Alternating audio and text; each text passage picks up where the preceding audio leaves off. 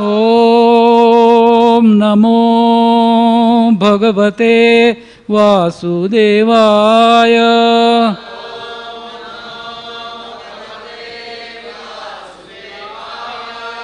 ॐ नमो भगवते वासुदेवाय।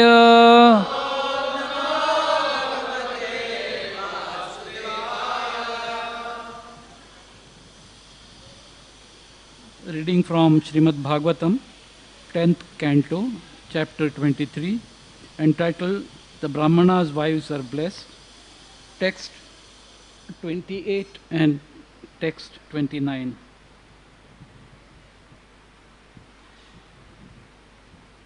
तद्यातदेव यजनम् पतयो वो द्विदयतयः स्वसत्रं पारशिष्यन्ति।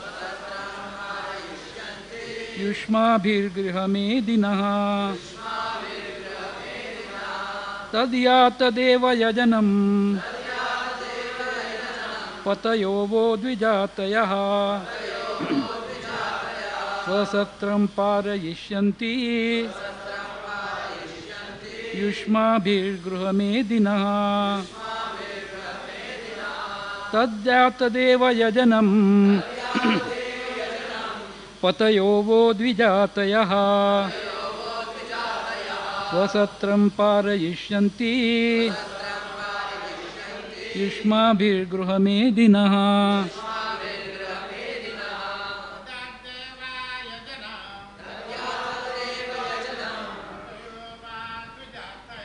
पतयो वा द्विजातयः। स्वसत्रं पारयिष्यन्ति। युष्माभिर्गृहमेदिनः जातदेव यजनम् वयोभूतिजाजया स्वसत्रं पारयिष्यन्ति। युष्माभिर्गृहमेदिनः युष्माभिजातयजनम् पतयो वो द्विजातयः। स्वसत्रं पारयिष्यन्ति। युष्माभिर्गृहमेदिनः। माताजीस्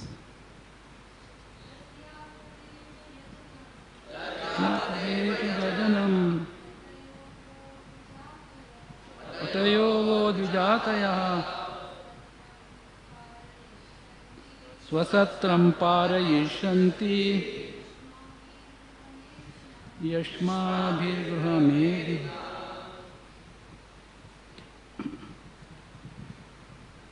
वर्ड बाय वर्ड मीनिंग तत् देर फॉर यात गो देवयजनम टू द सैक्रिफिशियल एरेना पतयाहा the husbands vah yours dvijatayah the brahmanas swasatram their own sacrifices parayishanti will be able to finish yushmabhi together with you grahamedina the householders. Translation you should thus return to the sacrificial arena because your husbands the learned brahmanas are householders and need your assistance to finish their respective sacrifices so there is no purport to this verse so we'll read the next verse श्रीपत्न्यः ऊचुः मैवं विभो अर्हति भवान् मैं विभो अर्हति भवान गदितुम भृशंसम सत्यम कुरुष्व निगम तव पादमूलम प्राप्त वयम तुलसीदाम पदावसृष्टम केशोधुम अतिलिंग्य समस्त बंधु translation and purport by disciples of Bhaktivedanta Swami चलो Prabhupada the wives of the Brahmanas replied O mighty one please do not speak such cruel words. Rather, you should fulfill your promise that you always reciprocate with your devotees in kind. Now that we have attained your lotus feet, we simply wish to remain here in the forest so we may carry upon our heads the garlands of tulsi leaves. You may neglectfully kick away with your lotus feet. We are ready to give up all material relationships. Purport. Here, the Brahmana's wives are saying something similar to what the gopis say at the beginning of the rasa dance. Bhagavatam 10th canto, 29th chapter, 31st verse. When Lord Krishna tells them to go home as well. Like this verse, the gopis' statement begins with the words Maivam Vibho Arhati Bhavan Gaditum Drus Samsham. Nigama refers to the Vedic literature, which states that one who surrenders at the lotus feet of the Lord does not return to this material world. Thus, the Brahmana's wives appealed to the Lord that since they had surrendered to him, it was unfair for him to order them to return to their materialistic husbands. According to Srila Vishwanath Chakravarti Thakur, Lord Krishna might have pointed out to the Brahmana's wives, You young ladies are members of the aristocratic Brahmana community. So, how can you surrender at the feet of a mere cowherd boy? To this, the ladies might have replied, Since we have already surrendered at your lotus feet, and since we desire to become your servants, we are obviously not maintaining a false identification as members of the so called Brahmana community. You can easily ascertain this from our words. Lord Krishna might have replied, I am a cowherd boy, and my proper maid servants and girlfriends are the cowherd girls, the gopis. The wives might have answered, True, let them be so. Let them shine forth if you are embarrassed in front of your relatives to make Brahmana ladies your maid servants. We certainly don't want to embarrass you.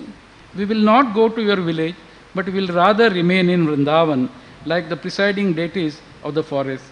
We simply desire to perfect our lives by even a slight trace of connection with you.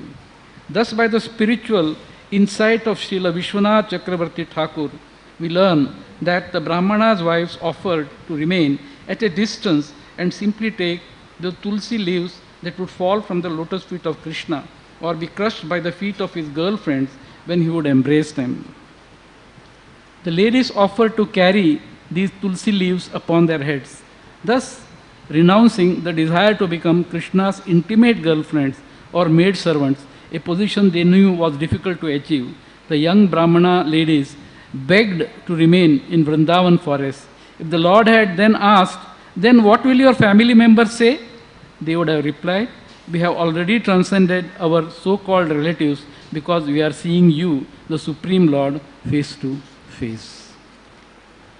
ॐ अज्ञानतिमिरन्धस्य ज्ञानञ्जनशलाकया चक्षुरुन्मिलितं येन तस्मै श्रीगुरवे नमः।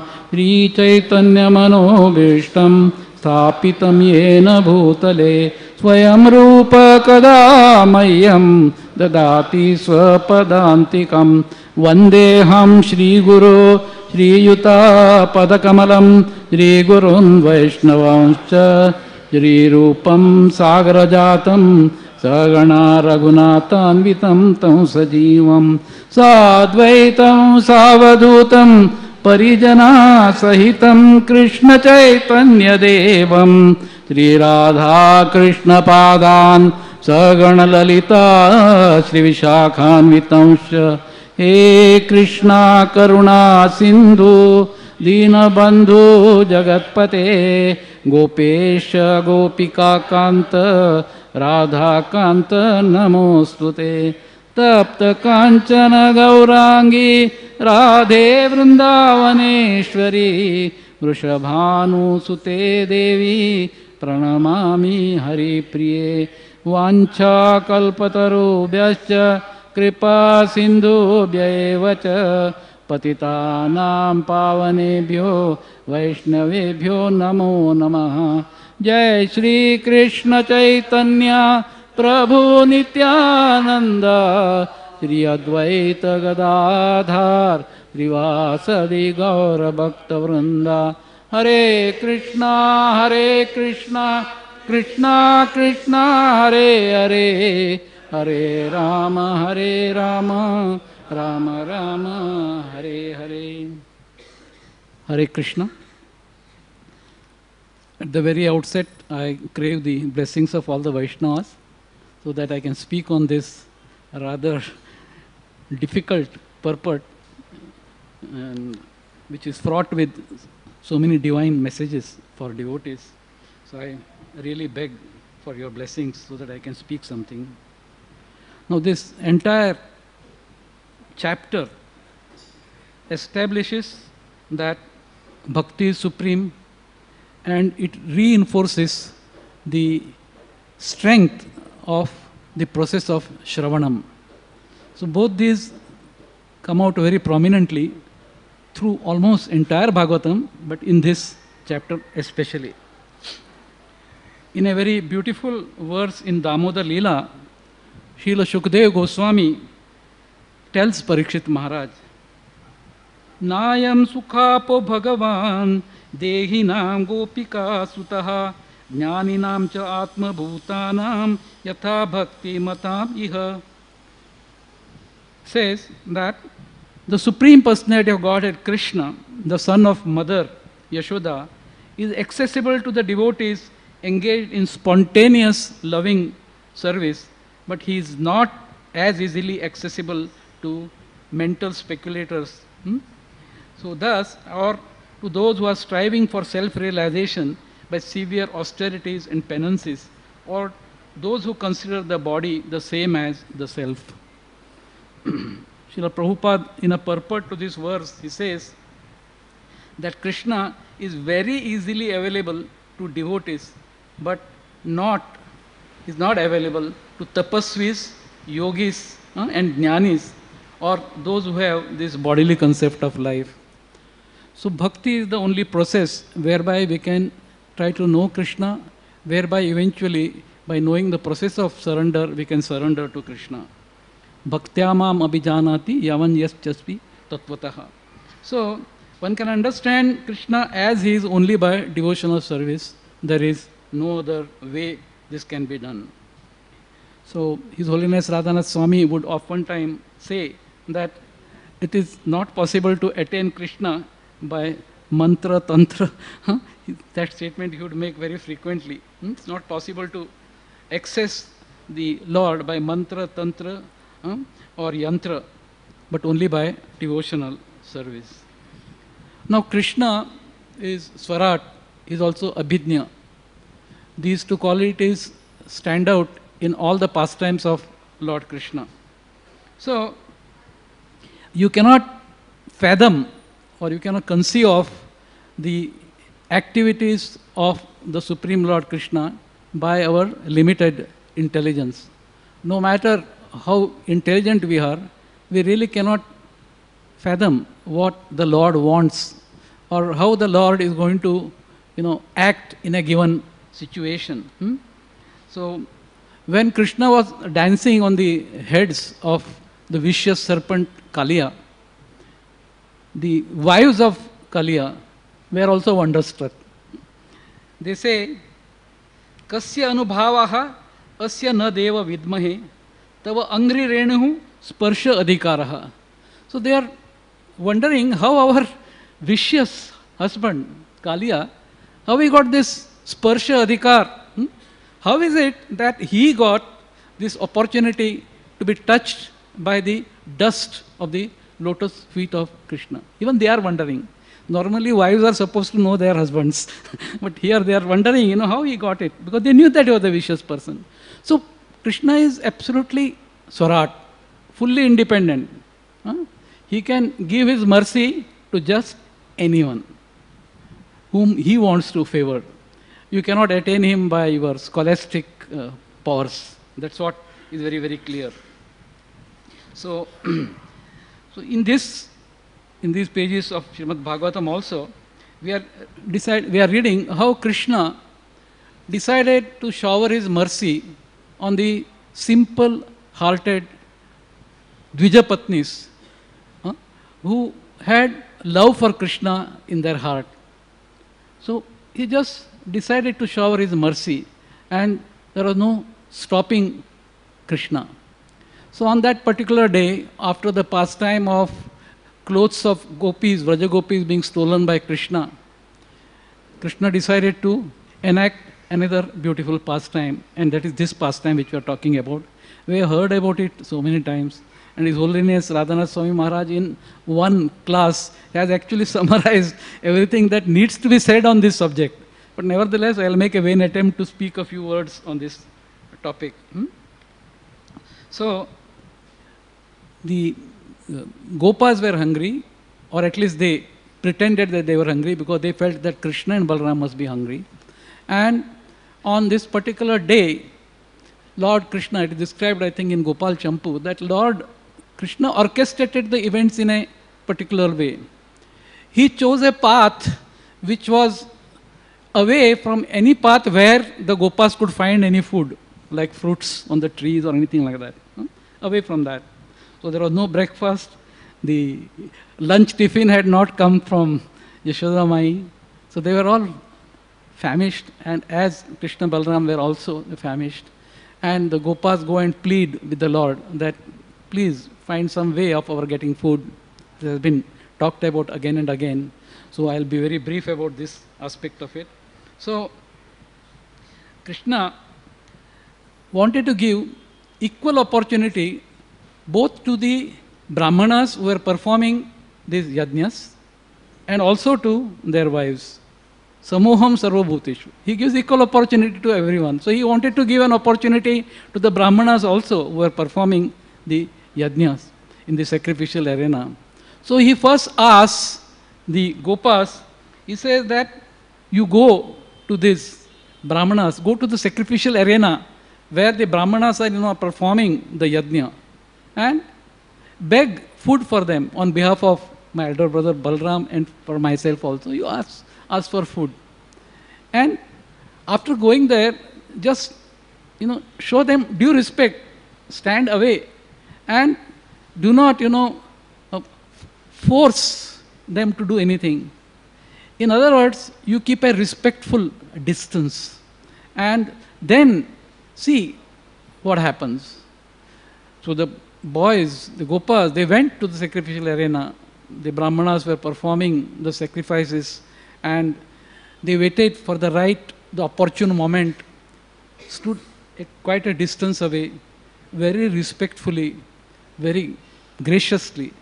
They then said that today we have all of us, you know, including Krishna and Balram, we are all very much away from Nanda Maharaja's house. Hmm? And they cannot see where we are. And there is no possibility of our getting any food from Nanda Maharaja's house. And then say, it is mentioned in the Gopal Champu, that they say that your, the Krishna and Balram feel that your house is as good as their father's house. Hmm?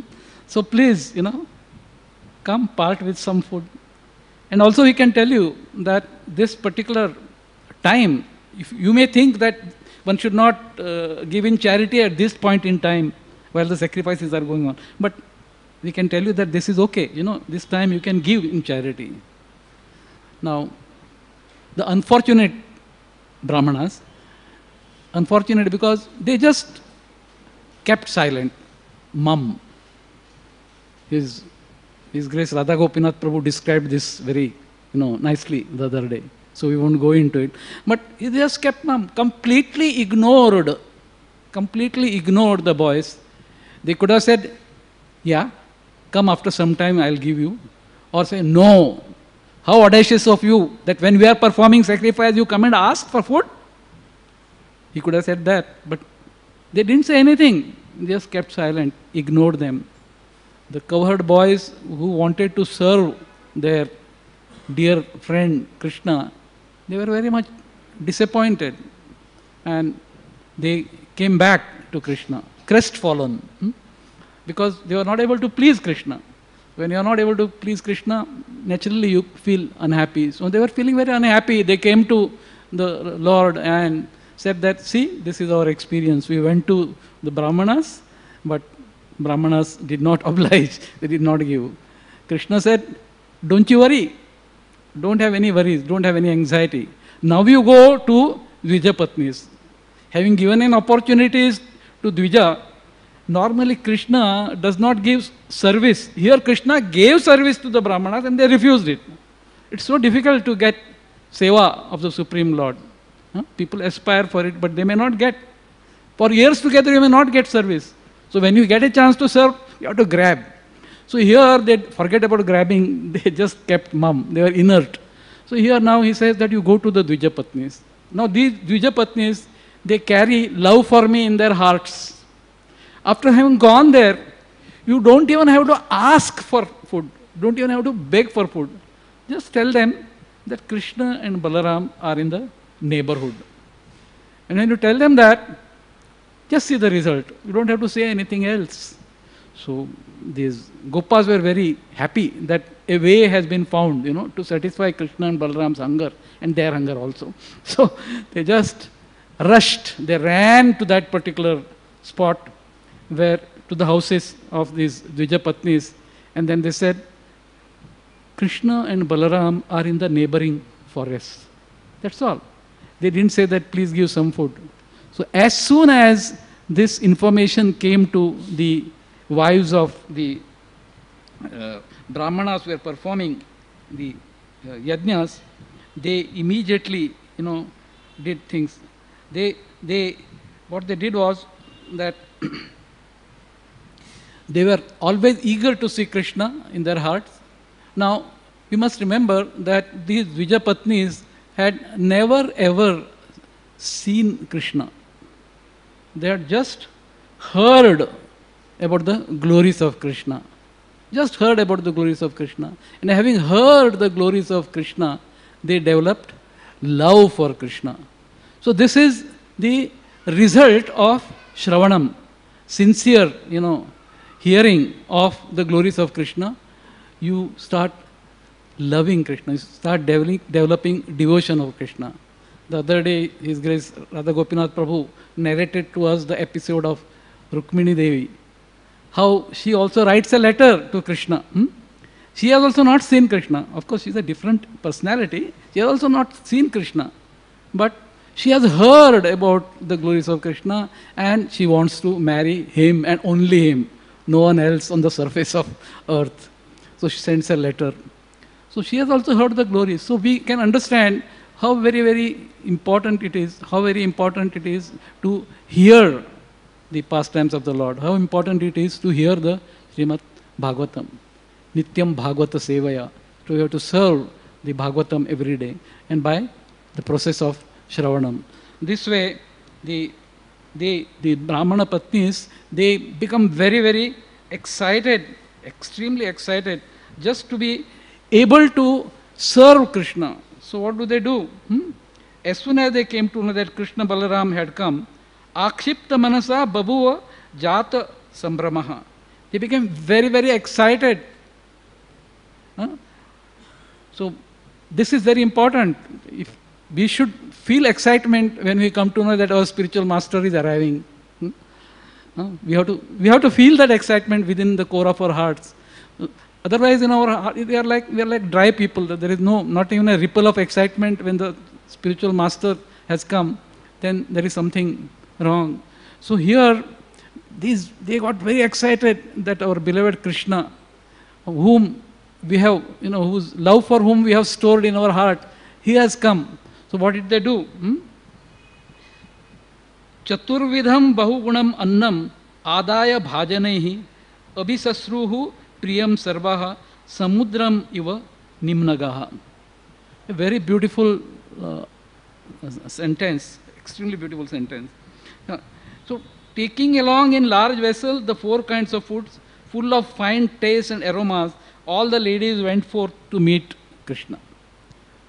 They were not told that please come, I will show you the way. No, they just they collected everything, all the samagri, you know, food items, everything, and they just put it in large vessels and just, you know, they started going with wherever the Lord was there.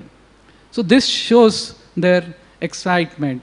Now it says that Samudram iva nimnagaha. Now when the rivers join the ocean, they they just go, they just They, just flow so very, very vigorously. They, they are not worried about any obstacles hmm, that come their way. Hmm? They just, you know, push aside everything and go. Similarly, here, I won't go into the detail, they overruled all the objections that were there from their husbands or anybody else who tried to obstruct their path. So, that has to be the intensity of love that we feel for the Lord. Unfortunately, we, we lack it, at least speaking for myself, I lack it. So we lack that intensity of love for the Lord. And if you have seen rivers flowing towards the sea, what intensity they have, tremendous intensity. They go and join the ocean. Their journey is complete only when they go and join the ocean. Similarly, here these rivers, you know, very, very, very, you know, here uh, the ladies were extremely anxious to somehow or the other go and meet the Lord of their heart. Hmm?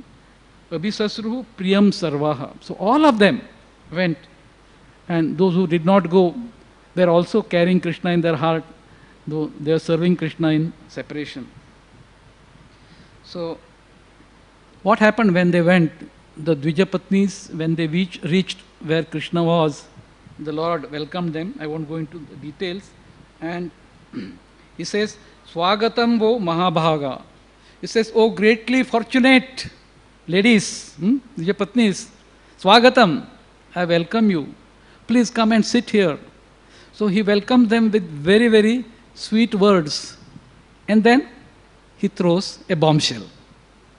What is the bombshell? That is described in the verse here. Deva yajanam patayo vo dvijatayaha. Hmm? You should thus return to the sacrificial arena because your husbands, the learned brahmanas, are householders and need your assistance to finish their respective sacrifices. Now, apparently these words, you know, are not offensive. Hmm? These words are not words which can make somebody unhappy. But these sweet words of Krishna make the Dvijapatnis very, very unhappy. How unhappy? They say, मैवम विभो अर्हति भवान गदितुम त्रिशंसम they say that krishna hmm, says says that please hmm, don't speak such harsh words cruel words to people like us these are not cruel words he has welcomed them made them sit and you know and has told them but they are very much hurt affectionate the same thing happens to the Vrajagopis. And the same words are also used by the Vrajagopis to express their discontent when just before the Ras dance this uh, pastime takes place. There also they say use the same word. Maivam vibo arrati bhavan gaditum rishamsam. They say, Krishna, don't be so cruel. They say that we have left everything to come to you. We have left our babies, we have left our household, we have left our husbands, everyone. We have faced all kinds of opposition to come to you. And now you are asking us to go. Here also Krishna is asking them to go back to the place, sacrificial arena where the husbands are performing. Now, if you look at it objectively, Krishna has not given a wrong advice, isn't it? It is right for the ardhanginis or the housewives to be by the side of their husbands when the husbands are performing yajna. It's not wrong. Like we read in the Ramayana that uh, when Lord Ramchandra, after Sita was sent to Valmiki ashram, hmm, and uh, Ram wanted to perform a sacrifice, he got made a beautiful uh, vigraha of Mother Sita with gold, and that was made to sit beside Ramchandra while he was performing the yajna. So what Krishna is saying is not wrong, basically, isn't it? But this has hurt them. They said, please do not speak such cruel words because their aspiration has been crushed. Their aspiration to be with the Lord of their heart has been crushed. And they say so many beautiful things. Hmm? So they say that we are, we are expecting reciprocation from you. Hmm? You always reciprocate. Tam. We are expecting reciprocation from you and we are not getting it. We were wanting to be with you, but you are not saying, be with me. that reciprocation is not there. So they feel very, very unhappy within the core of their hearts. Hmm? And they say that we have already given up all our material relationships. No, we have no relatives. No, one who surrender, surrenders to you, Sarva Dharman Parityaja, one who surrenders to you, then there is nothing, no connection with the material world, and you are asking us to go back to the material world. Therefore, the words that Krishna is speaking are like bombshell. Hmm? They are completely disturbed by even the sweet words. It happens in our lives also. Whenever you know we have a certain expectation from certain person, certain words to come from certain people, or certain actions to come from certain people, and when they are frustrated, apparently they have behaved very nicely with us, but we get completely perturbed by even with the sweet words. Huh? Sweet words are like bullets coming and hitting us.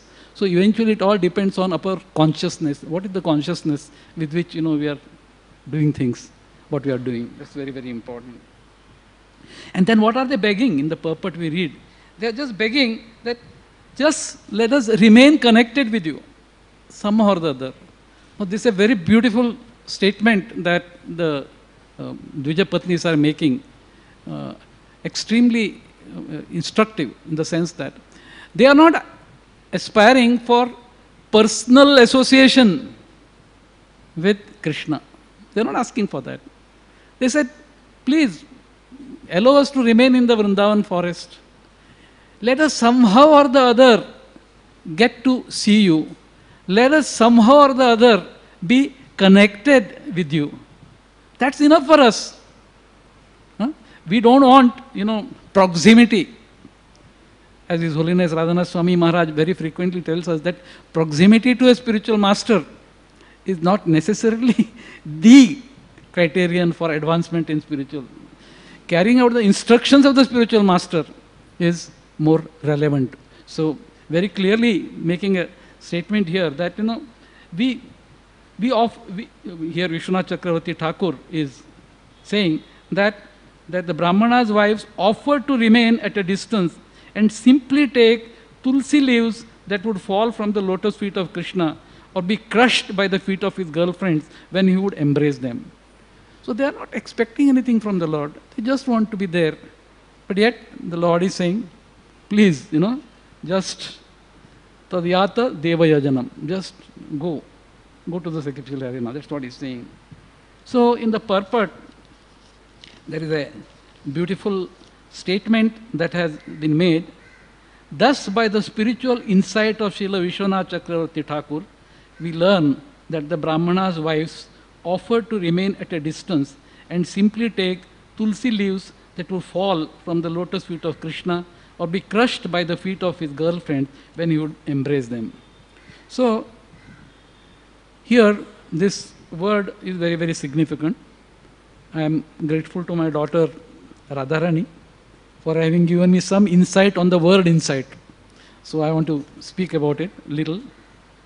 Maybe not as effectively as she would have done, but nevertheless, I want to speak about insight. What is insight? And then we'll talk about what is spiritual insight. Insight, according to some, is intuition. Now, in this material world also, there are many people whom we admire for their insight. They have a lot of experience, they have done a lot of reading, they are worldly wise, and in a given situation, they they feel okay, do this way. Intuitively, they say, you do this, you do that. That is intuition. And people get a lot of respect for those who can, you know, very nicely, you know, who have an insight into various things. They, they are very much appreciated. And they get a lot of respect from the people at large because they have because by dint of their experience and by dint of their knowledge they are able to guide people in difficulties? So these are people with insight but what is spiritual insight hmm? so spiritual insight is something totally different from insight insight many people may have after you know getting some gray hair you know you may develop insight in certain fields uh, certain areas of activity but spiritual insight, that is something which is gift of the Supreme Lord, hmm? gift of God. So, it is is the domain, it is in the domain of pure, hmm, pure uh, and empowered devotees only will have spiritual insight. Many people will have insight, but only the pure devotees and empowered devotees will have spiritual insight. Now, we find that Srila Rupa Goswami, hmm, he knew the heart of the Supreme Lord. We have so many stories regarding that. Hmm? He knew what is in the heart of Lord Chaitanya Dev.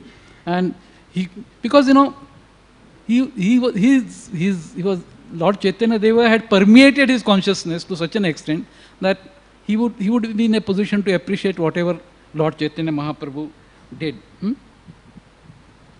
So such devotees who are most exalt, who are on most exalted platform of Krishna consciousness are a class apart. They are a class apart. Why? Because the Lord speaks to them. Hmm? The Lord speaks to them, and uh, because the Lord speaks to them, they are able to transcend the mere words of Srimad Bhagavatam. Now, when you read this purport, the first impression I got was that, you know, Vishwanath Chakravarti Thakur is putting words in the mouth of the gopis. It's not so. Vishwanath Chakravarti Thakur who is an empowered, pure devotee of the Lord, is actually transmitting the actual state of affairs that are there. So he's doing that. So it's very, very important. So we cannot fathom actually the depth of devotion of a pure devotee. Hmm? It's very difficult. Or even the greatness of a pure devotee. How great the devotee is. We cannot estimate how great Vishwanath Chakravarti Thakur is. We cannot estimate how great Bhaktivedanta Swami Srila Prabhupada is or Param Guru. We cannot estimate. It's simply not possible to estimate. Hmm? Uh, once uh, the devotees asked Srila Prabhupada, no, why is it, you know, that he asked somebody to read the Srimad Bhagavatam? He asked, why, why is it necessary for you, Prabhupada, to hear? After all, you know, you have written Srimad Bhagavatam. Why is it necessary for you to sit and hear. So at that time Srila Prabhupada said that these words are not my words. These are Krishna's words. So the Lord is therefore speaking through his pure devotees. That's a very, very important thing. So here therefore the word that by the spiritual insight of you know Vishwanath Chakravarti Thakur, something has happened here, that is very, very important. So how great is Vishwanath Chakravarti Thakur? Very briefly, I will talk about it. So, Vishwanath Chakravarti Thakur is a pure devotee who was responsible for the revival, renaissance of the Vaishnava, you know, philosophy and Vaishnava Sampradaya. When there was a period between the year 1600 and 1700, which was considered as a dark age in our Vaishnava tradition, he completely rejuvenated, gave life to the Vaishnava philosophy. So is that great? In every every temple, every center of ISKCON, every day, we chant the Davanala prayers written by Vishwanath Chakravarti Thakur. Everywhere. They're so potent prayers. Because by those by chanting those prayers, if we really understand and appreciate, we can know everything about that it needs to be known about bhakti, we can appreciate. So that is the power of uh, the prayers. So every center, everywhere, all over the world, his praises. That great is our Vishwanath Chakravarti Thakur. Hmm? So he was he is described as the crest jewel of the Vaishnavas because of his pure devotion, his profound scholarship, and what is important, his realized perception of Radha Krishna's intimate conjugal pastimes. It's not just theoretical. Hmm? Many people may speak eloquently about Radha Krishna's pastimes without having even an iota of realization. But here he had that realization of the absolute truth. Hmm? Therefore, it is very difficult. It is described that uh, Vishwanath Chakravarti is, uh, one, one should not compare pure devotees, but he was very you know, as close to, you know, the caliber and stature of Rupa Goswami. That's what it is described. So Srila Bhakti Siddhanta Saraswati Thakur glorifies Vishwanath Chakravarti Thakur as a person who was a protector, guardian, and acharya during the middle period. I said that the dark age, 1600 to 1700, of the historical development of Gaudiya, Gaudiya Vaishnavism. So it is described that in a dream, Lord Sri Krishna hmm, hmm, ordered Vishwanath Chakravarti Thakur hmm, to make commentaries on Goswami's hmm, books. And immediately he started writing. He's a prolific writer. If you go through the titles of some of the books that he has written, everybody has an access to that. Simply prolific. Perhaps next only to Srila Rupa Goswami. Such prolific, you know, writings are there. He immediately started writing, hmm, and it is described that when he would write, clouds would come into the sky and you know protect him, you know, from the sun's radiation, heat. Sun's radiation can sometimes, you know, give, you know, burns, you know. There are people, the, the cricketers apply, you know, some kind of a cream to protect themselves from the sun's glare. This radiation is very relevant to me right now because my wife is undergoing radiation. So radiation is something which can actually scald or burn. So here, he was being protected by the clouds, by Krishna's arrangement. Hmm? So and it is, it is written that when there was torrential rainfall, Vishnu Chakravarti Thakur was writing the Srimad Bhagavatam, and there was torrential rainfall, and when that rain fell down, it did not, not a drop of it, you know, would touch Vishwanath Chakravarti Thakur or the Bhagavatam. They would not be affected. Rain, rain everywhere. But he, he was able to carry on with his, you know, writings. So that was was being protected by the Lord. And there are so many other pastimes. I don't know how much time I have. How much time I have? Have some more time? 9.15. So there are so many other pastimes. So it is said that while he was compiling Mantrartha Deepika on Kama Gayatri mantra, Vishwanath Chakravarti Thakur, he was guided personally by Srimati Radharani. Vishwanath Chakravarti Thakur thought that Krishnadas Kaviraj Goswami has used, he has said that there are 24 and a half moons, or 24 and a half syllables in the Kama Gayatri mantra. And he thought that Vishwanath Chakravarti for a moment thought that maybe Krishnadas Kaviraj Goswami no, may have gone wrong somewhere. Radharani came in a dream and told him, Look, you are my dear devotee, but Krishnadas Kaviraj Goswami is also my dear devotee. He has not committed any mistake. It is 24 and a half. So that way she gave correction to him. So, and then last past time I'll conclude when Vishwanath Chakravarti Thakur was very, very, very old, emaciated. What happened was there was a crisis of sorts in amongst the Gaudiya Vaishnavas. And what was the crisis? The crisis was that the followers of Srila Ramanujacharya, hmm? uh, they questioned, they, they asked the king, they said that, whom are you following? Whose line are you following? The king said, you know, I am a follower of Gaudiya Vaishnavism. And then they challenged him. He said that, actually, you know, your line doesn't belong to any one of the four sampradayas which are there amongst the Vaishnavas. You are on a rank, wrong track. I suggest that you take initiation from, you know, one of the disciples of Ramanujacharya in that line. The king was very much disturbed. And one more argument they said that you don't have any bhashya or commentary on the Vedanta Sutras. So you are not bona fide. The king was disturbed, very disturbed. It was very difficult to take for him. He knew within the core of his heart that what he was doing was right. But you know, when a king is challenged, then all the subjects also will follow suit in case he changes his track. So therefore, the king, you know, sent word to Vishwanath Chakravarti Thakur. But uh, Vishwanath Chakravarti uh, Thakur was not in a position to even go anywhere because he was old and he was sick. So then he chose his crest jewel among his disciples, that is Baldev with Vidyabhushan. He called him and he said, Go, and you know defend the Vaishnavism that all of us are following and all of us are preaching.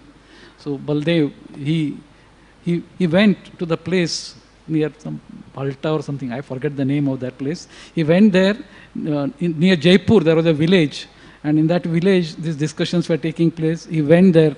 Once he went there, he was told, Why don't you, you know, you don't even have a commentary. So, what authority do you have to come and discuss with us, you know? So then Baldev, you know, he, he, he went, he, he asked for seven days, some say 30 days, whatever. So he asked for some grace period. And he said, by that time, when I come back, everything will be ready. So he went to Govinda Dev. You know, he, he prayed, you know, he cried in front of the Lord. He cried and he prayed to his spiritual master, Vishwanath Chakravarti Thakur. And then the Lord, you know, reciprocated with him how he virtually, you know, dictated what, what should be the bhashya. And on so many sutras of Vedanta, a beautiful bhashya was ready, compiled within seven days, and it was brought to the venue of debate.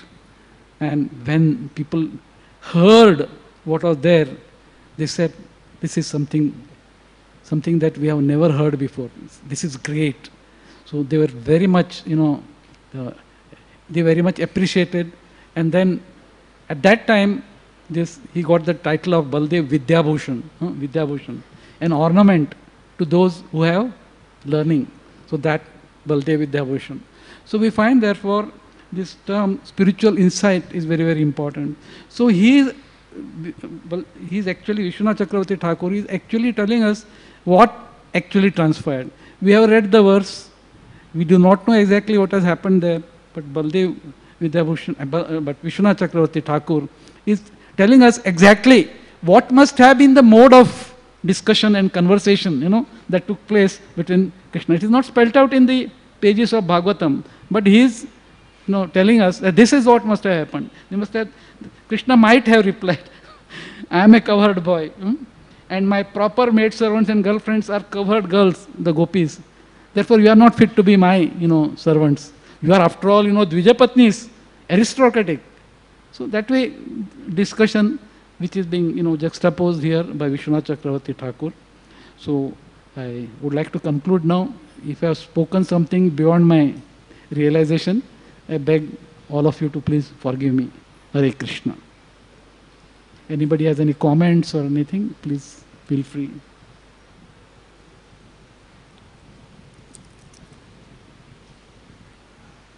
Any comment? Shrimad Bhagavat पुराणम की शिल प्रभुपाद की।